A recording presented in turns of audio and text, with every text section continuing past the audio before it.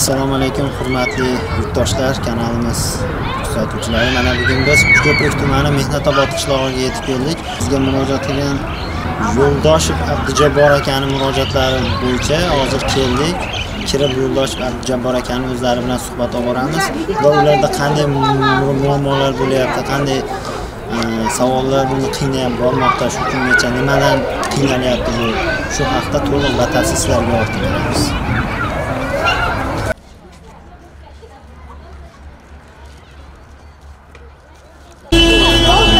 assalomu alaykum bizni murojaat uz degan kanalimizga murojaat yo'llagan ekansiz. Shu murojaatingizni o'rganish uchun keldik. Mana nima muammolar bo'lyapti sizda ochiq batafsil gapirib olasiz. Sizni ogohlantirib o'taman bizni suhbatimiz audio video syomka bo'lyapti.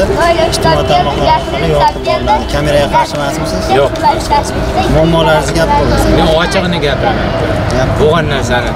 Men o'ttiz to'rt yildan beri ko'chada sarson sargardon bo'lib uy joy beriladi beriladi o'n yettinchi yilda men qog'oz tashlaganman o'shandan beri o'n sakkizinchi yil meni mana kanzaral degan qishlog'ga hokimiyat chaqirib uy joy berildi deb turib meni mayfon bilan zamon televideniyasiga chiqarib yuborishgan.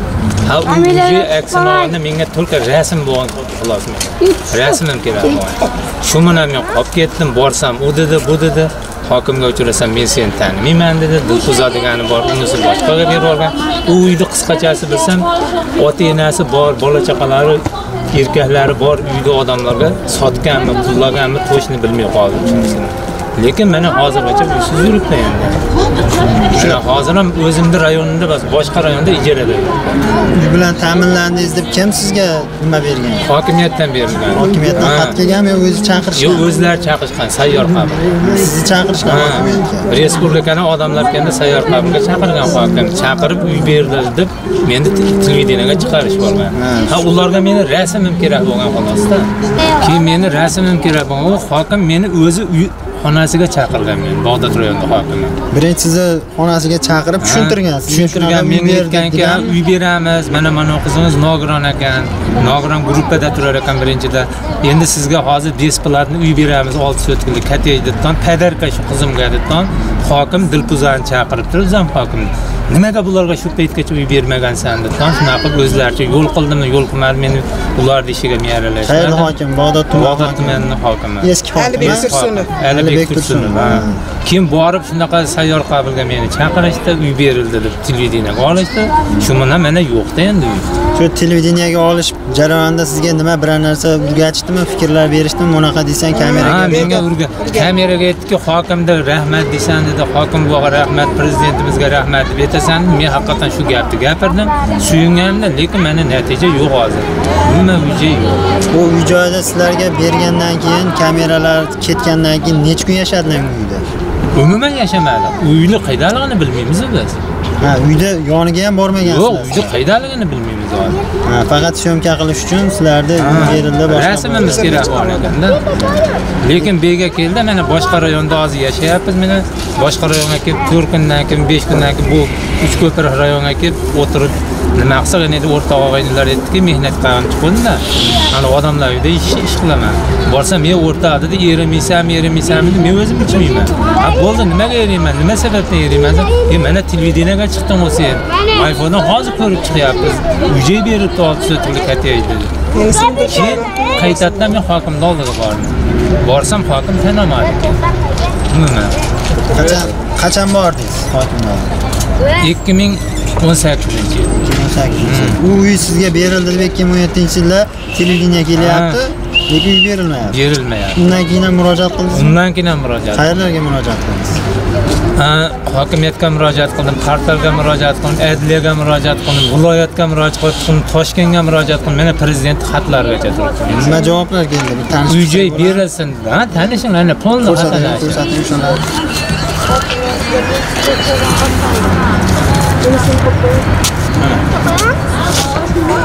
mana shu toshkent prezidentidan kelgan xatlar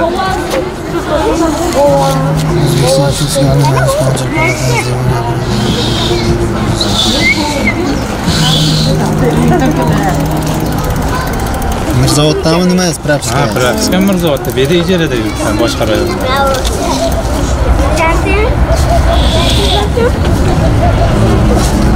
qarorimi bu yo siz bergansizlar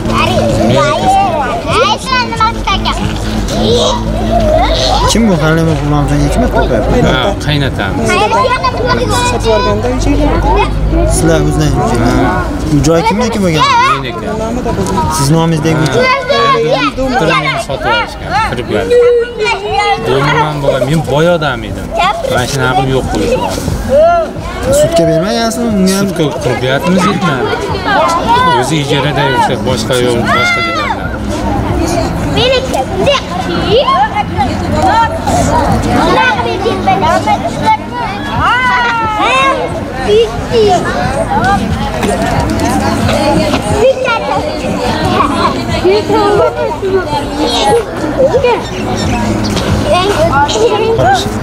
Qaynatamni mazasi qochqonton qolgandan, qaynatam uyimni sotamiz, senga boshqa joydan uy beramiz dedi. Keyin men bo'pti ham nimani, boshqa ham nimani, men o'zim endi yaqinda kelgan odam edim, kalla berang bo'laverdim. Gup etib sotib olgandan bitta domlaga biz mana uyda uy ham yo'q, boshqa ham yo'q. siz nomingizdamidi Meni nomim. Qo'ydim. o'qimishsizda endi o'quv Men o'qimaganligi uchun ko'rmasdan qo'l qo'yib yuborgan bu nima deb so'ramagansizmi so'raganman nima desam bu oddiy qog'oz dedi ular menga jo'n qog'oz olib qo'ydi qo'l qo'ydirib olgan oppoq qog'ozga qo'ydirib, keyin- ha endi unisini bilmadim endi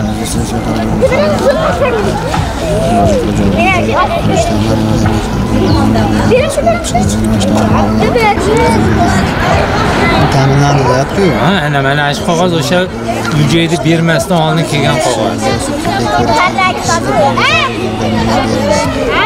berildimi shu dori darmonlar dori darmon berildi bir marta berildi bir marta oldik bir marta sizga zarur oziq-ovqat mahsulotlari berib berildimi oziq berildi bir marta berildi oziq ovqat ham dori ham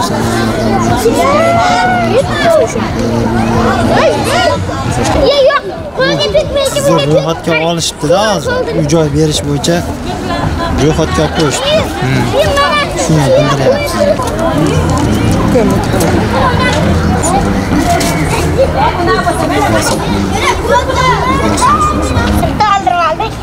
buni ikkalamizni o'sha uychagini xolasi vasiyatnoma qilgan biz prokurorga olib kirsak vasiyatnomani to'qson yettinchi yilda o'tgan kampir ikki ming o'n ikkida qo'l qo'yib beryaptimi dedi. Qanaqasi bozordan chiqib qo'l qo'l qo'yib keyin buni beradi? ham harakat qildik ololmadi Bunga ham harakat qilib, ne- ne- qizi nevarasini o'tirg'izib qo'ygan boshqa qishloqdan uy bo'lib turib, bundan ham qoldi.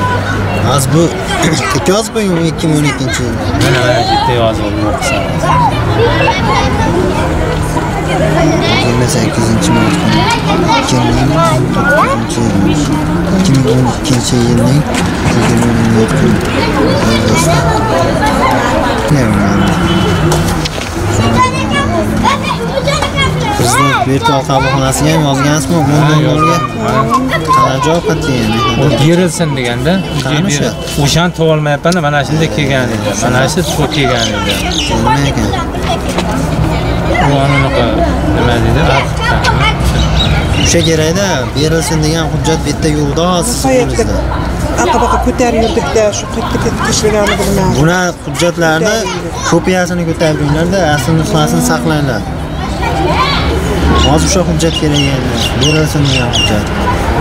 Yoshi oliy majlis mana shu qog'oz bo'lishi kerak. o'sha- yozib qo'ygan kamiyat bo'lish narsa emasda endi bu buni ichida qani deydi hozir keyin hokimlar o'tiribdi. O'sha dilfuza degan kotibalari bilan jihali biz aytdikki shunaqa ikki ming yigirmaga kiritdik deb aytuvdilar bizga qachon uy joy berasizlar deb qavarab turdikda uni orasida yo'l kira topamiz vaqti kelsa ishlab bo'ladi bo'lmaydi yo'l kira boramiz ikki ming yigirmaga kiritdik bo'lyapti bo'lyapti deb aldab yurishdi keyin shunaqa to'palan qoldik edi ikkovimiz keyin janjal bo'lib ketdi haligi joyda keyin hokimga aytdik shunaqa siz va'da beruvdingiz labs qilish kerak erkak kishi ayniqsa ayol kishini oldida va'da bergan padarka deb olgansiz menga padarka qilmang oldindan to'lovni qilib o'sha bitta uy joyni berib kirib olaylik. O'zimiz ishlab to'laveramiz. Anaqa qilsak men ham dilfuza ham ishdan chiqib ketamiz. Qutulasizlar deb shunaqa dedi haligi hokimi Alibek- aytyaptimi? Yo'q, rayon Tursunov. bog'dod tumani eskisi. Keyin haligi joyda keyin nima ikkovimiz jo'rab to'polon qiluvdik. Bu ko'tarilib ketuvdik. Keyin viloyat hokimi ekan. Baqa kelinglar dedi. Keyin voy tog'a qo'ying yozaman dedida dedi bunaqa yozuvlar ko'pini ko'rdik tog'a.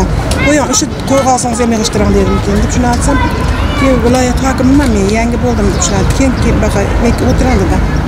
Haligi joyda o'tirdik. O'tirib keyin gaplashdik. Bizga nomerini berdi. Keyin biz nega yetib kelib keyin telefonlashdik. Keyin ertaga dedi odam boradi dedi keyin haligi ertasi kuni biz esimizdan chiqib qolib aqabaqa chiqib Xullas endi. Bog'dod rayonida hokimi bilan o'sha Dilfuza zam hokim aytganki, bularda uy-joyi bor, boshqa rayonda. Uy-joyi bor, yana davlatdan uy talab qilyapti. Qandaydir hali bolasini nogiron deb turib olamiz degan maqsadda talab qilyapti bizdan dedi. Keyin biz u hokimga aytdikki, shunaqa borib ko'rsin ana. Bizni rayondan dedim hech kimni jo'natmanglardi. O'zingiz odamingiz bo'lsa, keyin dedim ko'rib ketsin. Kelishdi mana uch ko'prikni nimasini ana Zam hokimi zam keldi. hokimi keldi o'sha kuni raisimiz keldi. O'ylardan so'radi kimni uyi bu dedi. Hech kimni uyi emas bizni uy joyi davlat davlat dedi. bular nomida uy yo'q hech kimni nomida hech qanaqa uy yo'q dedi. Shunaqa dedi keyin o'rganib kasaba uyushma tomonidan dedi. Biz sizlarga uy joy ajratamiz dedi. Deb shunaqa deb ketdi. Nechinchi yilda yaqin. Yaqinda. Ikki ming yigirmanchi yilda. Kun shu qishda edi bir oy ha dekabrlar ichida yangi keyin shuni ichida keyin biz nimaga yana o'zimiz hokimiyatga bordik borsak sizlarnikini dedi qabulxonaga chiqarib yuborganmiz. Virtual qabulxonaga dedi nogironliklar dedi. Endi ag'da xabarab turibmiz erta nogironliklarga hali uy joy solinmaydi ekan hali ololmaysizlar dedi. Deb shunaqa dedi. Hozir dedi shunday berilyapti besh million topsalamdi o'sha besh million beraman dedi qolganini subsidiya qilib sizlarga yordam berib traktor beramiz dedi. Endi hozir million narsaga hayronmanda uka. Masalan hop o'sha bir yuz to'qson millionmi ikki yuz qancha millionmi deyapti uni hop davlat o'n millionni to'lab bersa besh million men to'lasam o'n besh million bo'ladimi? Ha opangiz ishlamay bolaga qarasa nogironga. Ha meni o'zim bitta o'zim uncha pulni topa olammanda yeyishimiz bor boshqamiz bor qishki kuni bor bolam mana ishi yo'q. kasali bor mana hozir ishi yo'q. hozir mana kecha yigirma mingga ishlab keldim ishi yo'q boshqa.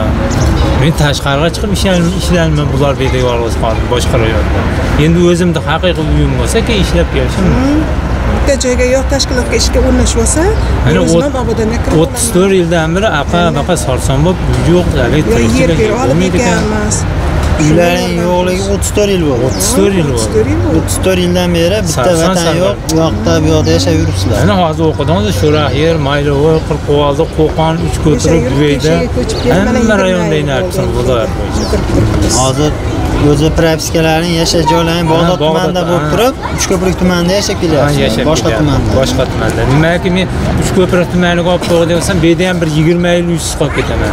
O'sha o'zimni rayonimda tursin baribir olaman deb harakatni yugurib ular bermayapti ular uchyotingda olib ketasan deyapti ular men to'xtamaysiz apa nimaiki men olib kelsam ular qutulib qoladida. Cho'ting ko'chirib ketdi uchyotingni ko'chirib ket deyishyapti ular qutulishadi nima sabab ko'chirib ketishimga deb so'ramadim o'shani so'radim sizlardan nima sababdan meni uchyotimni ko'chirib ketdingizlar? Haqlaring yo'q men shu yerda tug'ilib katta bo'lganman desam endi mana bunaqa g'ishova ko'payib ketyapti. G'ishova ko'paymagan sizlar uy, berishdan bosh tortyaptilar sizlar o'sha menga berayotgan olti sotikni mana uyga borib ko'rdim dedim sizlar yetmasalar taksi kiray qilib bordimda o'sha o'ttiz mingga taksi kiray qilib man borsam sizdan yoshroq bitta o'g'li o'ninchi sinfda o'qiydi ekan bittasi armiyadan kelibdi. Soppa sog' odamga uy joyni berganda olti sotikda uchtasida nogironi bor ekan. uchtasida nogironi bor uchtasi sotilgan. Senlar sotgansan deb tikka betiga sahrayapti yaqinda mana sentrda bitta opa bizni tanib qoldi keyin buni e sizda topolmay yuruvdim uka o'shanda siz kirdingiz e'lon qilib men kirdim. Haligi haqiqatni gapiraverganimizga siz chiqib ketdingiz nima oilangiz bilan chiqib ketdilar men quloq solib dedi mana ikkosini yo'qot deb shunaqa deyapti deydi. Shunaqa deyaptikanda Yo'qot, deyapti. to'g'ri gap yaqmaydi ekan ularda yo'qot mana shu ikkosini shunaqa deyapti dedi. Dedi keyin biz eshitmayapmiz unisini deb nima qildi mana yaqinda borib qishki kunida mana endi sizlarga yolg'on mana xudo tevada bor yolg'on gapirish foydasi hokimiyat qorovuli borda. O'shani yo'q ishonmaymiz masalan borib so'rasalar abjabbar aka qayerda yotdi boladan chaqadinglar uch kun qorovulxonada yotdi hokimiyatda. Cho'ntakda pul yo'q yemishga pul yo'q. Stolovoylardan qarzga olib keldim tanish aka unaqa bunaqa. Yo'q bor lekin shunaqa bo'lasa ekanda ijarada turganimiz ham haydab bor edi mana hozir aytib bo'yidagi hokimi shu yerda mana ishlagan. O'shanda hokimiyatdagilar bari ko'rdi. Uch kun ko'chada qoldikda uydan chiqarib yubordi hali uyda egasi ustilarimizni ham bermadi ijara to'laysan deyapti qishqunda men pulim yo'q bo'lsa hozir ko'rishdi hammasi. Shu hokimiyatda yotgan yotib qoldi deyapsizlar uch kun shuni hokim xabardor bo'ldimi shu xabardor bo'lgan bo'lgan bo'lgan. qorov qorovul xabardor bo'lgan. Nimaki qorovulga mumkin bo'lsa ekan hokimiyatda kechqurun odam qoldi. Qorovul обязательно aytgan keyin hozir yangi hokimda bahodir degan sizlar tengqur bitta bolasi bor ekan. Nimasi dedi u bahodir nima bo'lib ishlaydi ekan? Degan помощник помощник ekan o'shanga telefon qilishdi oxiri aytdiki qaydasizlar deb qorovulxonada yotibmiz mana bu hokim ham eshitdi keyin bu hokimga aytdiki shunaqa bo'lgan dedim. Desam ko'rib chiqaman o'zim dedi shunaqa mana ko'rib chiqaman degan yigirma kun bo'ldi. meni eshitishim bo'yicha ishlarni kuzatib boryapman. Bog'dod tuman hokimi juda yaxshi islohot olib boryaptida yaxshi tumani. boryapti nima uchun bu sizlarni muammolaringga barmoq ostidan qarayapti? Shunga hozir menda ham ozgina shubhalar tug'ilib qoldida endi biz o'sha kuni aytdim hokim voy shunaqa shunaqa bo'lgan qaysi yili bo'lgan dedi falon yili shunaqa bo'lgan uy berildi deb nima qilib qo'ygan dedim. Hozirgacha uy yo'q mana sarson bo'lib yuribmiz hozir boshqa rayondamiz bo'ldi aka dedi сразу bittasini chaqirtan bularni dokumentini ko'rasan o'zim tekshiraman seni. Debdan chiqarib yubordi sizlarga javobni aytaman. Mana yigirma kun bo'ldi javob yo'q. Tuman hokimiyati ha yangi bo'lgan hokim ha zo'r odam berdi ha yaxshi odam ekan ha. Javob keldimi? Yo'q kelgan yo'q mana yigirma kun bo'ldi mana. Bu xalq qabulxonasida bo'lyaptimi bu narsa? Yo'q hokimiyatda bo'lyapti mayli sayyor hokim qabuli kuni seshanba kuni. Bo'ladida o'shanda hokimiyatda kimga buyruqli kasaba uyushmasiga buyruqli o'shanaqa kimgadir buyurdida endi endi o'zini odami endi o'sha dilfuza opaga ham bu shunaqa ikki ming yigirmaga kiritdim dedi o'zi shuncha qatnadik pulim borida ham yo'g'ida ham qiynalib qarzlar kelib qatnab mana qavaradi kiritdi kiritdi nimaga uy shunaqa desa to'g'ri moshinani to'g'ri ha bitta narsada mana mana hozir men ustiga dedi. o'qiydigan narsam qolmadida uka to'g'ri lasettida lasettimi nexia uchtamikan o'sha anglanmay qoldim shunday mashinalarni olib haydab yuborib ustiga o'sha dilpuz opa chachimanaydan qirqiq oyoq nimaki men kirib ha deb aytaverdimda oxiri aytdimki dilpuz opa o'zi kichkina mendan. Opa opa deb yaxshi gapirsam berar degan maqsadda bir marta nojo'ya harakat qilmay so'kinmay opa opa deb berasizmi? Yo'qmi? Oxiri bilib qolgandiki senlar uyni sotgansan menga bergan uyni sotgansan degan lekin oxiri men papal bo'lib qoldim hokimiyatdan chiqib turib haydab ezdirib yubordi. Mana guvohim bitta kampirim bor boshqa rayonda men uni tanimayman. Aytdiki yozib beringlar dedi keyin nima bo'lsa bo'ladi men o'tib beraman tovib boring uyimni deb adresini berib ketgan unkor ma'lumot qari kampir u ham o'sha kuni qabulga kelgan ko'rib turibdi u ham. Ha endi ushlab qolman mashina surib kelyapti. Ana qizim ham turibdi biz ham turibmiz haydab kelyapti har seshanba bo'ladi qabul. Ha har seshanba bo'ladi endi ishlamayapsan ishlamayapsan. Sizlar ishlab nima qilsalar? Deyaverganiga endi mashina olay dedim men. Imtiyozli deb olay desam endi uch oy bo'ldi. Mana uch kun mana shu yerda yugurishib uch kunda yugurishib qog'ozni to'g'riladi to'rtinchi beshinchi kuniga mashinasini olib berishaydi. Endi men aytganimki uch oydan beri yuguryapmanman eski yilda qolib ketdi qog'ozlarimni mana yangi yilga o'tkazib to'g'rilab ber dedim. Hali qo'limizga tikuv mashina tegmaydida jinga trikotajniki va o'sha narsa bilan tirikchiligimizda jinga pul to'playlik bo'lmasa jinga ortqizamiz men ham sal yordam bo'lsin hanna deb haligi qilsak mashina ham qo'limizga tegmaydi opangiz endi bola bolani qarab o'tiradi maktabga bitirmaydi bola uyda o'tirib zeri qolmasindan borib yangi yildan 15 kun oldin aytganman borib. Yo birorta mashina beringlar. Mana men bolalarni bekor qolyapti. Men o'zim yetkazolmayapman. Dori ham yetkazolmayapman desam ha bo'pti dedi. Yozing qog'ozida yozib berdim yangi yil o'tdi fevral o'tdi. Mana mart kuni borsam kuni boshqa qilsasizlar eski qog'oz o'tmaydi dedi. Yangi olib borib yana qildim mana baribir hokim aytganini ham qilmadi yangi hokim. Hozir endi hozir olib borsam olib borsam olib borsam qog'ozni sen ertaga kelasan indirib kelasan mana uch oy o'tib ketyapti. Vallah olib nima qilib ketyapti mashinasini olib ketyapti o'zimizni rayondan ham olib ketyapti nimaga endi biz boshqa rayonda yashab turganimiz sababli yo uy joyimiz yo'qligi sababli endi nimadir bermayapti. Daftar bering mana hurmatli yurtdoshlar o'zlaring ko'rib bordilaring bu akamizni dardlarini murojaatlarini eshitdik. Ko'rib bordik. Rostdan ham men bu akani yashash sharoitlari bilan uylari bilan tanishib chiqdim suhbatlashdim rostdan ham yashash sharoiti og'ir. Oilasida ikkinchi guruh nogiron qizlari bor ekan farzandlari davolanib kelar ekan ishsiz akani o'zlari ham ishlamaydi turmush o'rtoqlari ham ishsiz. Bularga namunali uylardan murojaatdan qisqacha nima shuki endi sizlarga qisqacha tushuntiradigan bo'lsam bu akamizga 2017 yilda namunali uylardan sizga sovg'a sifatida berildi deb hokim televideniya va boshqa nimalar o'rnida va'da bergan. Bular uyda lekin va'da bergan lekin uyni ko'rmagan. Haligacha u uy bularni qo'liga yetib bormagan. Bu akamiz ko'p joylarga murojaat qilishgan. Hokimiyat adliya vazirligi sud muhtaram prezidentimiz shavkat mirziyoyev miromonovichning virtual qabulxonalariga murojaat qilishgan. Rahmat muhtaram prezidentimiz shavkat miromonovich mirziyoyev. Bu nimalarimizga fuqarolarimizga qo'ldan kelgancha yordam berib uy ajratilsin degan. Lekin hali haligacha ijrosi bajarilmagan. Nima uchun? Bog'dod tumani hokimi bu fuqarolarga barmoq ostidan qarayapti. Nimaga uchun prezident qarorlari ijrolari bo'lmayapti? Mana bog'dod tumaniga muhtaram prezidentimizni olib borilayotgan oqilona islohotlari siyosatlari yetib kelmayaptimi?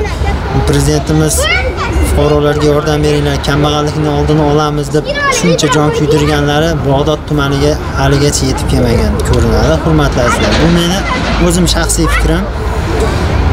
Nima qilib qolamiz? Umid qilib qolamiz. Xudo xohlasa tez kunlarda bunga ijobiy yechim qilib beradi vakolatli organ xodimlari hokimiyat xalq qabulxonasi mahallalar bilan ishlash oila va mahallani qo'llab quvvatlash vazirligi. Sizlardan bu murojaatga ijobiy yechim kutib qolamiz va bu murojaatni biz xudo xohlasa yechimini sizlarga ijtimoiy tarmoq orqali yoritib beramiz. Sog' bo'ling